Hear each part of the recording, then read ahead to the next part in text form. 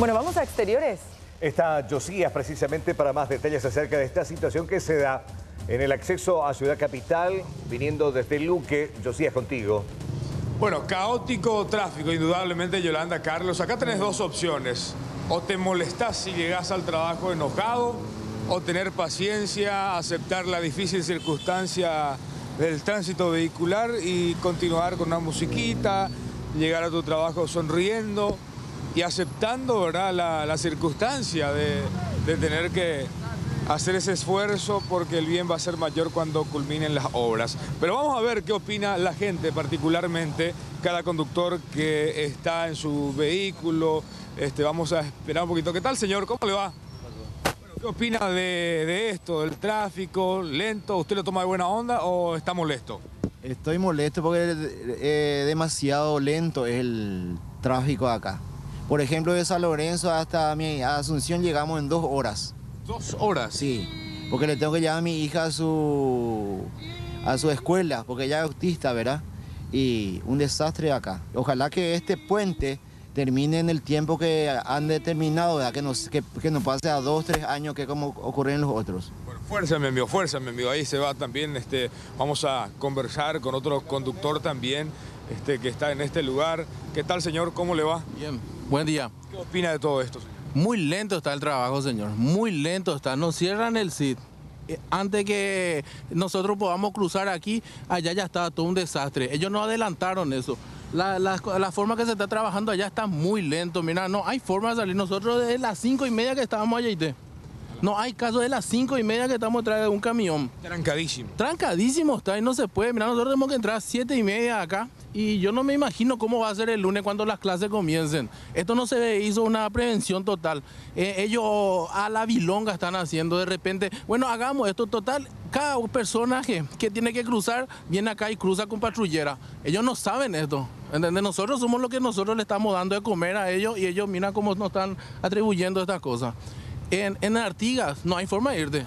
Vos vas a irte rápido acá por la nueva ruta, pero cuando llegas a Artiga está trancado, no hay. Tienen que ver una forma, no sé, reúnanse los fines de semana de esta gente y vean una forma de que, pucha, que puedas hacer algo, por favor. Fuerza, mi amigo. Ahí se va también, este, y bueno, la molestia, indudablemente, de los conductores quienes están esperando hace este, varias horas. Vamos a tratar de hablar con alguien más. Acá vamos a cruzar al otro sector. Este, vamos a, a ver Está, ya cerraron ya, pero vamos a tratar de conversar con otros conductores de igual manera. ¿Qué tal, señor? ¿Cómo le va? ¿Qué opina de, esta situación? Y realmente caótico, estamos contra, contra el tiempo y no, imposible llegar así, lastimosamente. Es difícil mantener la paciencia también, este, hay que llegar ahora al Tratamos de apaciguar un poco los ánimos, realmente es terrible. Eh, pues estamos contra el reloj, hay que llegar a tiempo, difícil. Fuerza, Bueno, vamos a hablar también con los motociclistas. Este, ellos tienen un poquito más de facilidad, pero entrando por el costadito, van llegando hasta allá, hasta el otro sector. Vamos a conversar con los motociclistas. Va con la puerta Gina. ¿Cómo te va, amigo? Muy bien. Ya, ya se van. Ellos, este, fíjense, Yolanda, Carlos, la cantidad de motociclistas también quienes ingresan por los costados, este, poniendo en riesgo su vida realmente porque esto en cualquier momento puede ocurrir un accidente. Ingresan por los costados, por el costado derecho de un vehículo y también por el costado izquierdo. Este, una importante cantidad de vehículos que viene de la zona del Luque para intentar ingresar a Ciudad Capital. Y también la gente que, baja de los ómnibus internos de la ciudad de Luque hacia ese sector y viene a... ¿Qué tal, señor? Va con la puerta, Gina. Va, la situación, Gina. Y ya ves, un desastre total. Pero hay que tener paciencia. Sí, claro, yo me bajé allá para tomar otro vehículo allá. No hay caso. ¿Dónde te va, señor? En el centro de Venezuela, América López. Fuerza, fuerza. Vale. Este, esta es la situación. Sí, Carlos.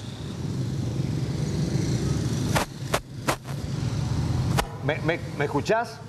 Sí, te escucho, Carlos. Bueno, eh, realmente Mucha paciencia, eh, Josías, ahí, no, ¿eh? Ay, viernes, ya, ya, viernes, ya completamos este, la semana. Decime, ¿hay autoridades ahí de PMT, Caminera, que, estén ayudando, orientando a la gente, por lo menos para agilizar? Porque a veces, en estas circunstancias, si no hay control, no hay gente que ayude, eh, es la ley del más bareté.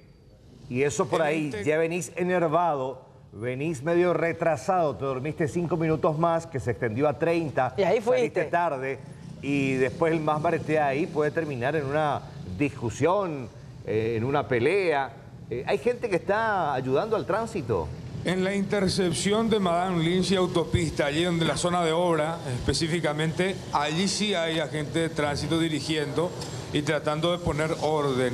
Pero es difícil mantener la paciencia, Carlos. Ustedes escuchaban cuando conversábamos con los conductores, este, ya la mayoría indefectiblemente perdió la paciencia y ya está con los nervios de punta. Claro, Y yo te digo, eh, más que nada en la autopista ahí de eh, eh, Ñuazú, porque no falta aquel que se hace del listo. El paraguayo pues, piensa que al infringir ciertas reglas se hace el listo y viene sobre, el, eh, sobre la banquina.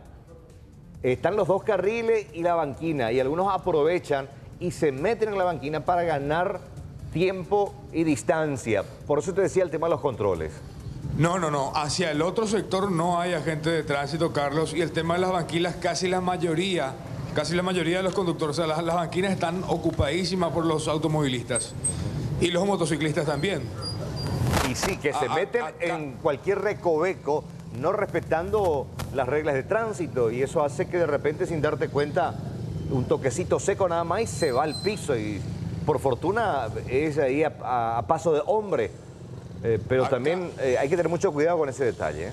Acá ellos están utilizando todos los espacios posibles, las banquinas, este, porque no es posible, no suben por el paseo central, porque tienen que llegar ahora y aparentemente no se previó eso y Y salieron salgamos sobre más la hora. ma- maestro, salgamos más temprano. Si vos sabés que hay un caos, si vos sabés que el otro día tenés inconveniente, mira, yo aceptaría como jefe que me digas, bueno, el primer día eh, es, es entendible, pero al quinto día otra vez llegas tarde, como algunos, por ejemplo, eh, no sé, eh, salí un poco más temprano, dormís más, más temprano, levantate más temprano y bueno, eh, ganá ese, ese tiempo. Pero también no somos muy especiales nosotros. No, Totalmente, esta no- no hay totalmente. No hay que llegar. tomar los, los recaudos. Ocho, ocho y media va a llegar este. Sí, no es imposible. No. Salimos un poco más temprano. Esa es la solución. Ya se habilitó el otro, el carril. Allí están quienes vienen a pie, o sea, vienen en colectivo hasta Sí. esta intersección y posiblemente agarran un colectivo. Conviene más en ómnibus hasta este lugar, ir hasta Madame Lynch, tomar un colectivo e ir al trabajo. Claro, una- parece una peregrinación acá a Cupé, ¿eh? Sí. Pero una- gente, gente trabajadora. Eh, a ver ¿qué, qué nos dice esta gente, Josías. Cruzá con cuidado, Va- mijo. Vamos a, vamos Ah, a no, conversar con A ver, ellos. ¿a qué hora tienen que Ahí con la puerta de Ginabón. ¿Eh? Bueno, este colectivo hasta esta zona, después va a agarrar otro colectivo. Sí, sobre- otro colectivo. Má- Mándale, nadie. Hacen. Bueno, estábamos diciendo que conviene más venir en colectivo, teniendo en cuenta el cuello de botella que se registra acá. Sí. De Movejona. no. Ah, ya en sobre de Manicalo.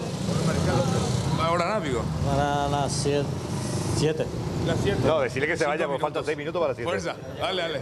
Bueno, acá Bueno, me y- dice, eh, me está contando Michelín, que es de la zona, Sí. duqueño, que el colectivo en realidad llega hasta ese sitio donde está el cuerpo de bomberos nada más y hace un, ahí hace su redondo. Sentido, No se anima a cruzar tampoco Ah. ni a salir a la autopista. Ahí gira y vuelve nuevamente hasta el Luque En Michelin. realidad es su parada, o sea, esa parada y toma eh, giro y va nuevamente al Ah, Luque. entonces Carlos. sí o sí tenés que hacer un transbordo ahí. Exactamente, hay Oh. gente que viene de- hasta ese lugar nomás. Baja y patea, viejo, desde Y ahí, sí, ¿verdad? ¿qué Sí, vas a ahora hacer? pico. Eh, Hay que también tomar ciertas previsiones, sentido. Si sabes que va a haber problemas, eh, putea todo lo que quiera contra las autoridades, pero bueno, puede llegar tarde a tu Pero, trabajo. ¿y, por, las y por qué tenemos este problema?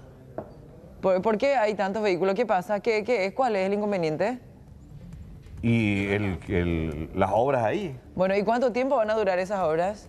eh, un buen tiempo todavía. ¿Eh? Un año y algo por ahí. De- o sea, un año me está obligando a levantarme media hora antes. Y bueno, pues, ¿y qué, qué otra opción tenés? Y yo no sé, Carlos, agilizar alguna manera, señor policía municipal de tránsito, desvío, vía alternativa, anda y A las 5 de la mañana por la autopista nueva no, no, No pasa hay nada. ningún vehículo. Tranquilo, voy Y venir. sí. Tranquilito. Bueno, dale Josías, gracias. Gracias por Acá, esta por Hasta luego, hasta luego. Sí. Se impone la señora esa, ¿verdad? ¿Qué quiere que convierta mi auto en helicóptero? Sí. Bueno, así mismo, en este momento, Sí, ¿verdad? Y tomar pide el divorcio. Y, y, y retalen a, Ese idiota de X. ¡Llámale a ese Mario Ferrer! Ah, Opa. Eh, bueno, bueno. Cállate, no me cobró mi cono. ¡Tiene que un helicóptero en mi auto! Ay, bueno, oiga, así terminaba después irritado, irritado de... de, de Es cuando alguien te toca la bocina atrás, saca tu brazo y decirle así. Pasa encima. Eh.